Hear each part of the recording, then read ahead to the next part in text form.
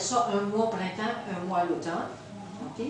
Mais les gens qui ont des maladies dégénératives, des maladies soit dites incurables ou des dommages sérieux qu'ils ont eu dans leur corps, pour la première fois qu'ils font une cure, c'est suggéré de le faire trois mois d'affilée. La première fois. Ah, Ouais. mois. Fait que, fait que moi, je mélange un certain nombre de plantes pour faire ça. Mais, euh, Pourquoi tu fais, excusez, pourquoi fais les trois mois d'affilée? Parce qu'on le fait moins drastique? si, non, c'est-à-dire, si la première fois tout qu'on en fait, quand ça fait des années qu'on n'a pas fait, Mhm.